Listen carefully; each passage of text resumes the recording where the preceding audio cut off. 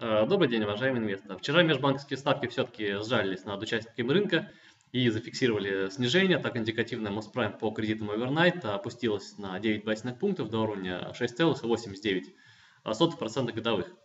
А, безусловно, на межбанке перегрев сохраняется, при этом э, Банк России продолжает заливать рынок ликвидностью, но эти средства э, в полной мере не используются участниками рынка. То есть средств предоставляется больше, чем нужно, но перег... снятию перегрева это не способствует. Вот Такая вот дилемма. Сегодня мы видим, что Банк России опять-таки увеличил лимит по операциям однодневного аукционного репо до уровня 1 триллиона и 840 миллиардов рублей. С вчерашних и без того больших 1 а, триллиона и 790 миллиардов рублей. То есть от последние дни выше полутора триллионов держится лимита по однодневному репо. И регулятор а, естественно, пытается сбить напряжение, но пока это не получается. Э, собственно, мы видим, что у рубля дела все-таки не так плохо обстоят. Вчера э, довольно-таки хорошо укрепилась э, национальная валюта по отношению к евро.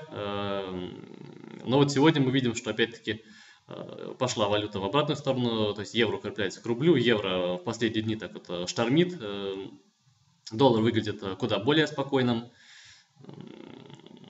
Также обратим внимание, что если говорить о перспективах э, рублевых бандов в следующем году, э, то естественным образом мы бы порекомендовали, во всяком случае, если покупать банды э, банковских эмитентов, то делать это крайне осторожно, не лезть в лишние риски и выбирать все-таки эмитентов, которых рынок хорошо знает и у которых рейтинг, естественно, находится на высоком уровне. Вот, например, банды Газпромбанка, Внешэкономбанка, ВТБ, Полагаем, что у этих э, рыночных игроков э, никаких, скажем, сюрпризов не случится э, в плане лицензии, поскольку уж если данные организации падут, то уж ни один банк не устоит.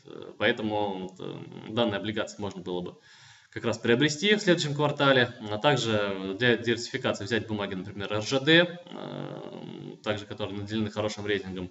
Ну и в корпоратах можно быть пофривольнее, так скажем, Э, здесь риски э, сектора э, в целом меньше не финансового. Например, бумаги Вимпелком, МТС, Алросы, ленты, например, и прочих эмитентов. Смотрится довольно-таки неплохо. Это основные события, которые мы хотели бы на сегодня озвучить. Всем спасибо за внимание. До свидания.